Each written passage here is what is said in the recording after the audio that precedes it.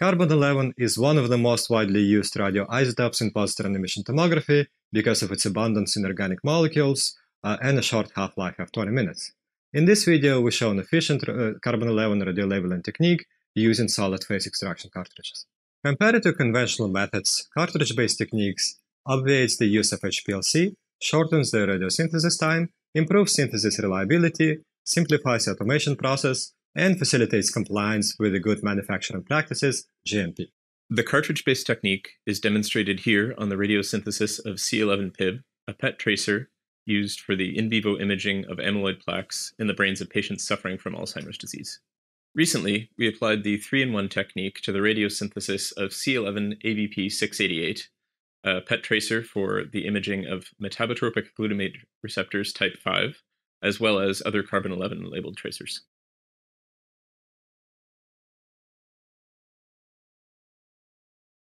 Combine 450 milliliters of 0.2 molar solution of acetic acid with 50 milliliters of 0.2 molar solution of sodium acetate to prepare the acetate buffer at pH 3.7 as buffer 1.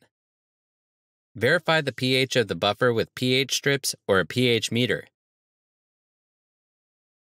Then, combine 12.5 milliliters of absolute ethanol with 87.5 milliliters of acetate buffer in a 100 milliliter bottle to make 12.5% aqueous ethanol solution as wash 1.